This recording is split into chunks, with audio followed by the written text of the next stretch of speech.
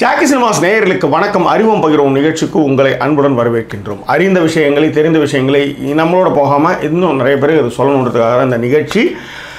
விமானங்கள் ஏன் ஒயிட்டாக இருக்கணும்? ஏன் வெள்ளையாக இருக்கணும் ஏன்? சொல்லு.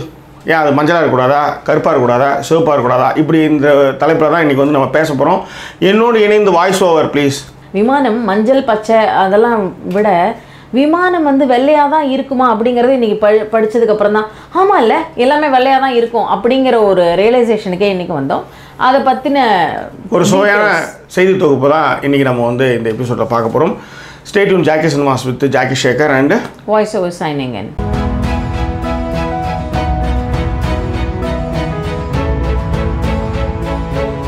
நாகரிக வளர்ச்சியில் அல்ட்ரா மாடர்னான விஷயங்கள் தொடர்ந்து ஒவ்வொரு விதமாக புதுப்பித்து கொண்டே வருகின்றது.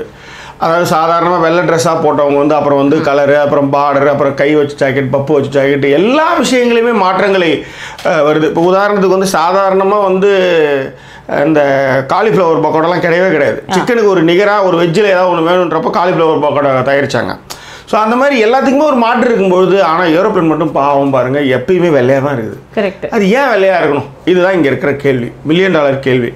இந்த வெள்ளைக்கு பின்னாடி இருக்கிற சுவையான தகவல்கள் தான்.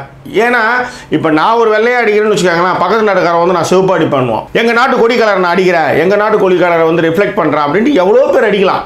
எவ்வளோ விஷயங்கள் பண்ணலாம். ஏன் வந்து வெள்ளையாக இருக்கணும்? சொல்லுங்க. நியாயமான கேள்வி. பட் ஆனால் எல்லா ஏரோப்ளைன் வந்து வெள்ளையாக தான் இருக்கா? அப்படின்னு சொல்லிட்டு பார்த்தீங்க அப்படின்னா இல்லை. இல்லை. சில ஏரோப்ளேன் அதாவது வந்து சவுத் ஆப்பிரிக்காவில் இருக்கிற ஒரு விமானம் வந்து என்னன்னா மேங்கோ அப்படிங்கிறவங்க வந்து ஃபுல்லாகவே வந்து அது வந்து. விமானத்தை ஃபுல்லாகவே மஞ்சள் கலரில் அடிச்சிருப்பாங்க அதற்கப்புறம் வந்து ஹங்கேரியில் அவங்களுடைய வந்து ஏர்கிராஃப்ட் வந்து பார்த்தீங்கன்னா வயலட்டில் வந்து பாதி பாதியும் வந்து வயலட்டாகவும் மீதி பாகம் வந்து ஒயிட்டாகவும் வந்து அடிச்சிருப்பாங்க. உதாரணத்துங்க ஒரு விமானம் என்பதே வந்து பார்த்தீங்கன்னா முழுக்க வெள்ளையாக இருக்கும்.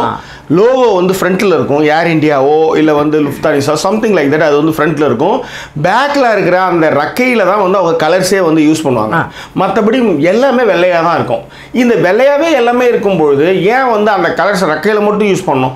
உடம்பு ஃபுல்லாகவே இந்திய கொடியை வச்சு அனுப்ப வேண்டியது தானே? இப்போ பிரிட்டிஷ் கொடியை வச்சு அனுப்ப வேண்டியது தானே? ஸ்டார்ஸ் அண்ட் ஸ்ட்ரிப்ஸ்ன்ட்டு யூஎஸ் கலர் கொடியை வச்சு அனுப்ப வேண்டியது தானே ஏன் வந்து வெள்ளையாக இருக்குது அதுதான் மேட்ரு ஸோ இந்த வெள்ளையாக இருக்கிறதுக்கு பின்னாடி நிறைய பாதுகாப்பு மற்றும் நிறைய சுவாரஸ்ய தகவல்கள் இருக்கின்றது. உதாரணத்துக்கு வந்து ஒரு விமானத்தினுடைய தயாரிப்பு அப்படின்னு பார்க்குறீங்கன்னு வச்சுக்கோங்களேன். இப்போ நீங்களாம் வந்து ஊரில் நீங்கள் கார் ஒன்று நம்ம ஊருக்கு வந்து லான்ச் ஆகுதுன்னு வச்சுக்கோங்களேன். அந்த காரை நீங்கள் பார்த்தீங்கன்னா அதை ஃபஸ்ட்டு வந்து வே மேலே வந்து இன்னொன்று ஸ்டிக்கர்லாம் ஒட்டி அந்த கா கலரே உங்களுக்கு தெரியாத மாதிரி தான் எடுத்து வந்து கொடுப்பாங்க. கவனிச்சிருக்கீங்களா? ஏன் அப்படின்னா எங்கேயாவது வரும்போது ஸ்க்ராச்சஸ்லாம் ஆகிட்டு தோ ப்ரெசன்டட் பை அப்படின்னும் போது நல்ல ஸ்க்ராச்சஸ்லாம் பண்ணிடக்கூடாதுன்றதுக்காக எடுத்து வந்து அது மாதிரி சேஃப்டியாக எடுத்து வருவாங்க. ஒவ்வொரு விமானங்கள் தயாரிக்கும் பொழுதும் அந்த விமானமானது பச்சை கலரில் அந்த விமானத்தை ரெடி பண்ணுவாங்க. அதாவது மட்டி பெயிண்ட்னு சொல்லுவாங்க இல்லையா. அந்த மாதிரி அந்த ஒரு மட்டி பெயிண்ட் அடிச்சு தான் அதை எடுத்துன்னு போயிட்டு எவன் வாங்குறானோ அவனுக்கு கொடுப்பாங்க.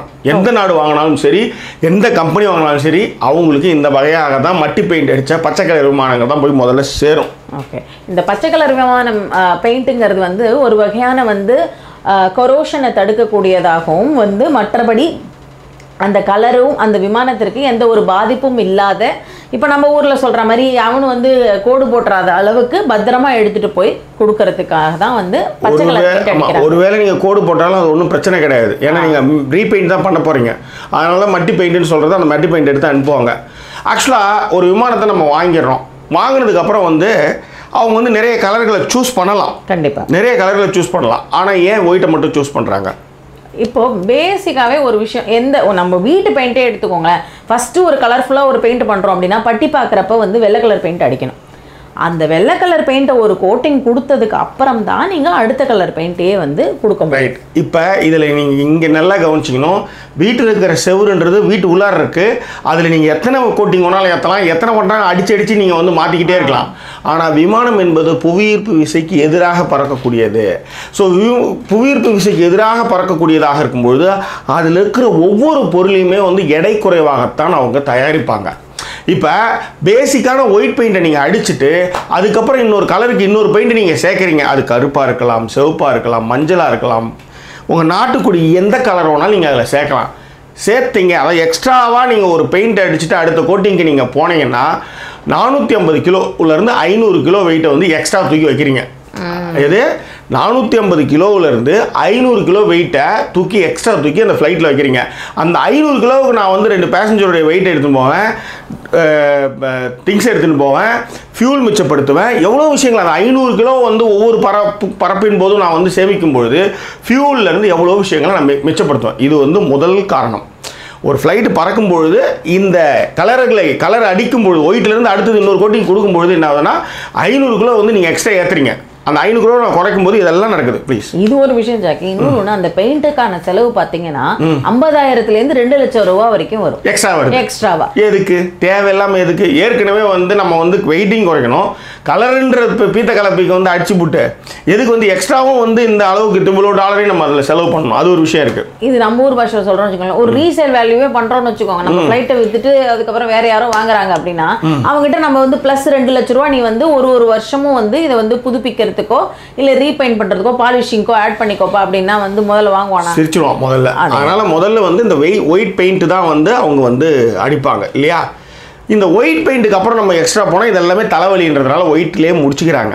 ஆனால் இந்த ஒயிட் பெயிண்ட்டையே அடிக்கிறதுக்கு வந்து அவங்களுக்கு நேரம் அதாவது அந்த டைம் கால்குலேஷன் எவ்வளோ ஆகுது அப்படின்னா குறைந்தபட்சமாக முப்பத்தி நாலு பெயிண்டர்ஸ் நல்லா கேட்டுக்கங்க முப்பத்தி நாலு பெயிண்டர்ஸ் மூணு ஷிஃப்ட்டு பதினாறு நாட்கள் கண்டினியூஸாக வித்தவுட் பிரேக்காக வேலை செஞ்சாதான் அவ்வளோ பெரிய போயிங் விமானத்துக்கு நீங்கள் ஒயிட் பெயிண்டே அடிக்க முடியும். அவன் கொடுத்த மட்டி கலர்லேருந்து இங்கே ஒயிட்டுக்கு மாற்றணுன்னாலே இவ்வளோ பேர் வேலை செஞ்சாகணும். இதை தவிர்த்து வந்து ஆறாயிரம் ஹவர்ஸ் வந்து அவங்க வந்து வேலை செய்யற மாதிரி அப்ராக்சிமேட் கணக்கு வருது. ஏன்னா முப்பத்தி நாலு பேர் ரெண்டு பெக்க போட்டு படுத்து தூங்கிட்டான்னு வச்சுக்காங்க. பதினாறு நாள் கணக்குன்னு வச்சுக்காங்களேன். ஏன்னா இவன் வந்து ஆறாயிரம் மணி நேரம் வேலை செஞ்சாதான் அது முடியும்னு அவங்க நல்லாவே தெரியும். இவன் ரெண்டு இந்த கான்ட்ராக்டை போட்டு மச்சான் அங்கே தூங்குடா சிக்கன் மட்டன் எல்லாம் வெட்டிட்டு போய் எங்கே பெக்கெட்ஸ் தூங்கிட்டான்னா ஆறாயிரம் மணி நேரம் ஒழுங்கு மரியாதை முடிச்சு கொடுக்கல உதச்சிடுவேன். இல்லைன்னா எக்ஸ்ட்ரா சம்பளம் கிடையாது. அப்படின்றதுக்காக தான் அந்த இந்த கணக்கெலாம் வந்து ஒரு ஒரு இதெல்லாம் தான் கணக்கு. இதெல்லாம் தான் ஒரு பிஸ்னஸ் ஏன் வந்து ஆறாயிரம் மணி நேரத்தை அவன் கணக்கு பண்ணி வச்சிருக்கணும்? இதுக்குள்ளே இதை முடிக்கணும்டா. நீ வந்து நம்ம ஊர்லாம் பார்த்தீங்கன்னா அந்த கொத் கொத்தனார் இவங்கெல்லாம் பார்த்தீங்கன்னா சில நேரத்தில் அழகாக வந்து ஒரே ஒரு செவுத்தையும் ஒரு நாள் ஃபுல்லாக வச்சுட்டு ஏழை ஏழை இழப்பான். தஞ்சாவூர் பெரிய ஒரு ராஜகோபுரத்தில் இழைக்கிற மாதிரி அழைச்சிட்டு இருப்பான். ஸோ அந்த மாதிரி ஜில்ஃபால்ஸ் வேலை பண்ணுறவங்களாம் நம்ம ஊரில் நிறைய பேர் இருக்கானுங்க. அதனால் அவன் வந்து ஸ்டாப் வாட்ச் வச்சு காலைல ஆறு மணி ஷிஃப்ட்டு அதே மாதிரி ஷிஃப்ட்டுக்கு மேலே ஒரு நிமிஷம் வேலை செய்ய வேண்டியதில்லை. அதுவும் அவங்ககிட்ட இருக்கிற நல்ல விஷயம். நீ அதிகமாகவும் பண்ண வேணாம். நான் கொடுக்குற காசுக்கு நீ சொன்ன நேரத்துக்கு நீ வேலை செஞ்சால் போதும். அதுதான் அவங்களுடைய விஷயம். ஸோ இப்போ ஒயிட் வந்து இது ஒன்று மாறிடுச்சு. இல்லையா? ரைட் இப்போ அடுத்த விஷயம். இந்த ஒயிட்டு இன்னொரு ஒரு முக்கியமான பயன்பாட்டுக்கு இது வந்து காரணமாக இருக்குது காரணம் என்னென்னா பொதுவாக இப்போ சமீபத்தில் கூட பார்த்தீங்கன்னா ஒரு விமானம் வந்து விபத்துக்குள்ளாயிடுச்சு. மிலிட்ரி விமானம். என்னன்னு பார்த்தா பறவை மோதியது தான் அதில் காரணம். நாங்கள் ரெண்டு பேரும் அவசரமாக வந்து பேராஷூட் யூஸ் பண்ணி தப்பிச்சிட்டாங்க நம்ம இந்திய விமானப்படையில். இந்த பறவைகள் வந்து ஒயிட் கலர்னால் கிட்ட வரலாம்.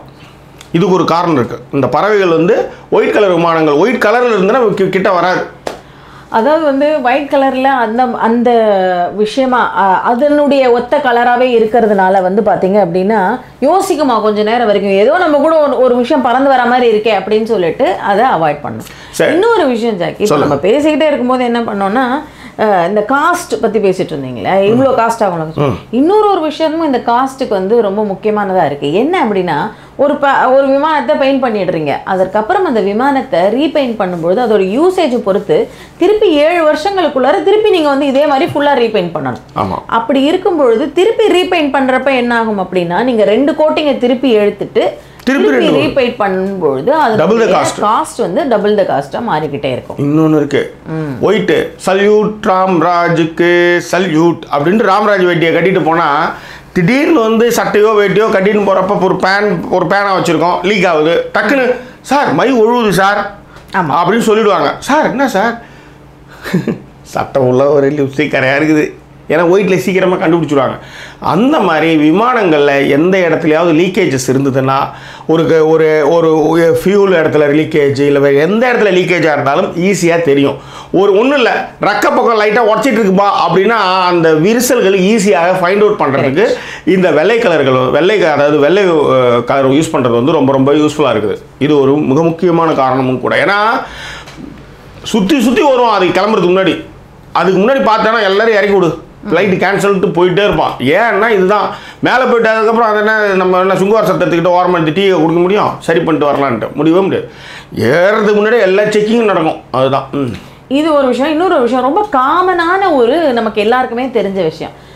சம்மர் டேஸில் பார்த்தீங்கன்னா நம்மலாம் என்ன பண்ணுவோம்? வெள்ளை கலர் சட்டை தான் போடுவோம். இல்லை லைட் கலர் சட்டை தான் போடுவோம். இதுக்கு ஒரே ரீசன் என்ன அப்படின்னா ஒயிட் கலர் வந்து ஹீட்டை வந்து தெருத்தும். தெருத்தும். அதாவது வந்து எப்படி சொல்றது.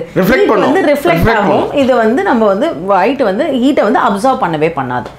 பட் மற்ற கலர்கள் வந்து பர்டிகுலராக வந்து டார்க் கலர்ஸ் எல்லாமே வந்து ஹீட்டை அப்சர்வ் பிளாக்கும் அதேதான். ஏற்கனவே விமானம் வந்து பறக்கும் பொழுதும் சரி அதனுடைய சூரிய வெப்பம் படும் பொழுது ஹீட் வந்து ஜாஸ்தி ஆகிறப்ப ஒயிட்டுங்கிறதுனால வந்து இந்த ரிஃப்ளெக்ஷன் வந்து கம்மியாகுது. கம்மியாகுது. இன்னொன்று பறக்கிற ஸ்பீடு அப்படின்றது வந்து பார்த்தீங்கன்னா இப்போ சூப்பர் சானிக் விமானங்கள்லாம் இருக்குது கான்கார்டு விமானங்கள்லாம் இருக்குது இதெல்லாம் வந்து ஒலி அதை ஒலியை விட இரண்டு மடங்கு வேகத்தில் பறக்கக்கூடியவை. உதாரணத்துக்கு வந்து ஆயிரத்தி ஐநூறு கிலோமீட்டர் ஸ்பீடில் பறக்கக்கூடிய விமானங்கள்லாம் இருக்குது அப்போ அதுங்க ஸ்பீடாக போகும்பொழுது உராய்வுலாம் வருது இல்லையா? ஹீட் அந்த ஹீட்டை வந்து தள்ளுறதுக்கு வந்து இந்த ஒயிட் கலர்ஸ்க்கு வந்து பெரும் பெரும் உறுதுணையாக இருக்கிறதுனால ஒயிட் கலர்ஸ் தான் எல்லாருமே வந்து சூஸ் பண்ணுவாங்க. ஒயிட் வந்து செலவு கம்மி. டபுள் கோட்டிங் அடிக்க வேண்டாம். ஏழு வருஷத்துக்கு ஒரு வாட்டி அடிச்சாலும் ஒரு வாட்டி பெயிண்ட் அடித்தா போதும். ஐநூறு கிலோ மிச்சமாகுது. அதே மாதிரி விரிசல்கள் ஏதாவது இருந்தாலோ எங்கேயாவது லீக்கேஜஸ் இருந்தாலோ fuel leakages oil leakages whatever it is விமானத்தில் வெளிப்பகுதியில் எது இருந்தாலும் அது வந்து உடனே கண்டுபிடிச்சி செய்ய வைக்க வ- வல்லது. அது மட்டும் கிடையாது. இப்போ சொல்லுங்கள் இது தவிர்த்து பார்த்தீங்க அப்படின்னா விமானத்தினுடைய மேல் பகுதி அதற்கப்புறம் முள் பகுதியில் வந்து காட்டன் லெனன்னால சில விஷயங்களை வந்து செய்திருப்பாங்க. அந்த விஷயங்களும் வந்து மிக வந்து ரொம்ப ஹீட் ஆகாமல் இருக்கிறதுக்கும் வந்து இந்த ஒயிட் கலரானது வந்து ரொம்ப உதவியாக இருக்குது சப்போஸ் எங்கேயாவது இந்த விமானம் வந்து விபத்துக்குள்ளாகுதுன்னு வச்சுக்காங்க. இப்போ பசிபிக் பெருங்கடல் மாதிரி ஒரு இடத்துல போய் ஊந்துச்சு. நீயே வந்து அதில் வந்து என் வீட்டு கலரு என் வீட்டு கோழி ஆ எனக்கு ப்ளூ தான் பிடிக்கும். ராசிப்படி ப்ளூ தான் எனக்குன்னு அடிச்சு வச்சோன்னு வச்சுக்கோங்க. ஊந்து விமானத்தை நீ கண்டே பிடிக்க முடியாது. ஒயிட்டுன்றது எங்கே விழுந்தாலும் மிக ஈஸி அதாவது கா நீங்கள் வந்து காட்டு பற காடுகளில் வந்து அது வந்து விழுந்தாலும் சரி கடலில் விழுந்தாலும் சரி கா காட்டில் விழுந்தால் பச்சை கலரில் ஒயிட் இருக்குதுறான்ட்டு போயிடலாம். ஆ. அதே மாதிரி கடலில் விழுந்தாலும் ஒயிட் கலர் மறந்துட்டு இருக்குன்னு தெரியலாம். பட் மலேசியா ஏர்லைன்ஸ் ஒன்று போச்சு அது காணாமல் போச்சுன்னு வச்சுக்கோங்க என்னாச்சுன்னு இது வரையிலுமே தெரியல. ஓகேங்களா? ஸோ அந்த மாதிரி கதைலாம் நிறையவே இருக்குது. ஸோ இந்த மாதிரி எல்லாம் இருக்கும் பொழுது இந்த ஒயிட் வந்து ஒருவேளை விபத்துக்குள்ளானால் மிக எளிதாக அந்த விமானத்தை கண்டுபிடிக்க இது உதவும். இது ஒன்று எல்லாத்த விட சார் நான் என்ன நீங்கள் இப்படிலாம் பேசிட்டு இருக்கீங்களே அந்த ஏர்ஃபோர்ஸ் ஒன்று பார்த்தீங்களா அமெரிக்கா தலைவர் ஏறி போவார். ஏர்ஃபோர்ஸ் ஒன்றுனா அது ஒரு கம்பீரம். அவங்க அலுமினிய கலர் தான் அடிச்சு வச்சுருப்பாங்க. அது உங்களுக்கு என்னன்னு தெரியுமா அப்படின்னா சற்று விஸ்தி வித்தியாசப்படுத்தி காமிப்பதற்காகவும் அதில் நிறைய கோட்டிங்லாம் வச்சு அவங்க வந்து அந்த அந்த ரிஃப்ளெக்ஷன் வரணுன்றதுக்காகவே வந்து அந்த அலுமினிய கலர் வந்து அவங்க வந்து அவங்களுடைய விமானங்கள் அதாவது ஏர்ஃபோர்ஸ் ஒன்றுக்கு மட்டும் அவங்க அந்த மாதிரி பண்ணிட்டு இருக்காங்க அது ராஜா விட்டு கண்டுபிடி எவ்வளோ வேணாலும் செலவு பண்ணலாம் எவ்வளோ வேணாலும் ஏற்றலாம் எவ்வளோ வேணாலும் ரே- இது பண்ணிக்கலாம் சொல்லுங்கள் இல்ல இந்த செலவு பண்றது எப்படின்னா அப்பப்போ வந்து அதுக்கான அந்த சில்வர் இருக்கு இல்லைங்களா அந்த கிளாசி கோட்டிங்கை வந்து கொடுத்துக்கிட்டே இருக்கணுமா. அதை கொடுக்கல அப்படின்னா அந்த ஹீட்டும் வந்து ஈக்குவலா ஸ்ப்ரெட் ஆகாம அதில் வந்து நிறைய பிரச்சனைகள் வரும். அப்படிங்கறத வந்து சொல்றாங்க. ஆமா. அதே மாதிரி முக்கியமா எந்த பகுதியை வந்து நீங்க வந்து கண்டிப்பா வந்து விமானத்துல வந்து வெள்ளையில இருக்கணும் அப்படின்னா அந்த மூக்கு பகுதி இருக்கு பாத்தீங்களா? அது வந்து கண்டிப்பா வந்து வெள்ளையில ஏன்னா தான் அதுதான் வந்து தள்ளின்னு போகுது அப்போ காற்று அப்படி உஷ்ஷுன்னு வரும்போது அதுதான் ஒரு ஆய்வில் முதல்ல வந்து மூக்கு நெட்டி நிற்கிது ஸோ அதனால தான் வந்து அந்த மூக்கு பகுதி வந்து வெள்ளையாகவே இருக்கும். அந்த லோகோலாம் பார்த்தீங்கன்னா ஒரு பத்தடி தள்ளி தான் வந்து பின்னாடி இருக்கும். ஸோ பால் பகுதியில் உங்களுக்கு கலர் கொடுத்துக்கலாம். ஏன்னா கலர் கொடுக்கலாம் அவனால் தாங்கவே முடியாது. என்ன இது வெள்ளை வெள்ளையாக எடுத்து வந்து நிறுத்துறீங்க? அப்போ ஜெகன்மோகினி கதையை எடுத்து வந்து நிறுத்துறீங்கன்ட்டு ஃபீல் பண்ணுவாங்கிறதுனால வெள்ளையை வந்து அதில் வந்து கொடுத்துருவாங்க. ஸோ நான் என்ன சொல்ல வரேன் அப்படின்னா ஸோ இவைகள் எல்லாமே வந்து விமானம் வெள்ளையாக இருப்பதற்கு மிக முக்கிய காரணங்களாக சொல்லப்படுகின்றது. ஸோ நல்லா கேட்டுக்கங்க. ஒரு சாதாரணமாக மட்டி பெயிண்ட் அடித்து வர்ற ஒரு விமானம் வந்து பதினாறு முப்பத்தி நாலு பெயிண்டர்ஸ் வந்து பதினாறு நாட்கள் மூணு ஷிஃப்ட்டில் ஆறாயிரம் மணி நேரம் வேலை செஞ்சாலும் வெயிட் ஒயிட் கலர் ஆரம்பிக்கணும் அதுக்கப்புறம் அது கலர் அடித்தோம்னா திரும்ப இதே மாதிரி முப்பத்தி நாலு மணி நேரம் ஆறாயிரம் ஹவரு மூணு ஷிஃப்ட்டு முப்பத்தி நாலு பெயிண்டரு யோசிச்சு பாருங்கள் எவ்வளோ பெரிய செலவு அது. நீங்கள் நினைக்கிற மாதிரி போயிங்கன்றது சாதாரணமாக வந்து இப்போ பொம்மை பிளேன் நினச்சிக்கிட்டிங்களா? அது ஒரு ராட்சசன். அதுக்கு செலவு அதுக்கு செலவழிங்க அதுக்கு இல்லை இந்த பதினாறு நாள் அது நின்றுச்சுன்னா யோசிச்சு பாருங்கள் அது வந்து எவ்வளோ பெரிய லாஸு பதினாறு நாள் அது ஓனா தான் காசு. கரெக்ட் பிஸ்னஸ்ன்றது நாட் ஓன்லி என்ன சொல்கிறது சாதாரண விஷயம் கிடையாது. பதினாறு நாளில் வர்றதே அவனுக்கு வந்து அது பெரிய விஷயம். பதினாறு நாள் வந்து அது ஓட விட்டுனே இருக்கணும். திரும்ப இன்னொரு பதினாறு நாள் கலருக்காக எவனா கொடுப்பானா? அது மட்டும் கிடையாது. எங்கே தொலைஞ்சதுன்னா எவன் கண்டுபிடிக்கிறது? கண்டுபிடிக்கிறதுக்காக ஒயிட் அடிச்சு வைக்கணும்ல. ஸோ அந்த மாதிரி விஷயங்களுக்காக விமானங்கள் வெள்ளையாக பறக்கப்படுகின்றது. ஸோ இன்னும் இது பற்றிய சுவாரஸ்யமான தகவல்கள் நீங்களும் எங்கேயாவது அறிந்திருக்கலாம். அதை இங்கே வந்து பின்னூட்டங்களை நீங்கள் பகிருங்க. ஸோ ஒரு சில இடங்களில் கிடைச்ச தகவல்களை கூடுமானவரை சரிபார்த்து தான் நாங்கள் உங்களுக்கு வழங்கிட்டு இருக்கோம் எங்கேயாவது தப்பி தவறி ஏதாவது வார்த்தைகள் வந்ததுன்னா அது வந்து வேணும்னு செஞ்சதில்லை எதிர்பாராமல் நடந்தது. உதாரணத்துக்கு போன ஒரு பதிவில் வந்து சொல்லியிருந்தேன். ஸ்டீவன் ஸ்பீல்பர்க்கு அப்படின்னு சொல்லிட்டேன். ஸ்டீவன் ஸ்பீல்பர்க் வந்து போகவே இல்லை. ஜேம்ஸ் கேமரோன் தான் வந்து கடலுக்கு அடியில் போனார் ரெண்டாயிரத்தி பன்னெண்டில். நான் வந்து அந்த ஃபஸ்ட்டு வந்து படம் ஆரம்பிக்கிறப்ப அபேஸை பற்றி சொல்லியிருப்பேன். அவரை பற்றி எனக்கு நல்லாவே தெரியும். ஆனால் டங்க் ஸ்லிப் ஆகி ஒரு இதில் வந்து ஸ்டீவன் ஸ்பீல்பர்க் சொல்லிட்டேன். ஸோ அது பிழை தான் அது. பட் இந்த மாதிரியான பிழைகள் வந்து க எவ்வளோ கவனமாக செய்தாலும் சில நேரத்தில் அது மாதிரி ஆகிவிடுகின்றது. ஸோ அதனால் இந்த மாதிரியான விஷயங்களை நீங்கள் புரிஞ்சுக்கணும். கூடுமானவரை அவைகளை தவிர்த்து உங்களுக்கு நிகழ்ச்சி செய்திகளை வழங்குறதுக்கு நாங்கள் ஆயத்தமாகவே இருக்கின்றோம். வேற என்ன? மீண்டும் வேறொரு எபிசோடில் இன்னும் சுவாரஸ்யமான தகவலோடு புதிய தகவலோடு வேறு ஒரு விஷயத்தோடு உங்களை நாங்கள் சந்திக்கிறோம். அதுவரை நன்றி கூறிவிடுவது உங்கள் ஜாக்கி சேகர் மற்றும் வாய்ஸ் ஓவர் சைனிங் ஆஃப்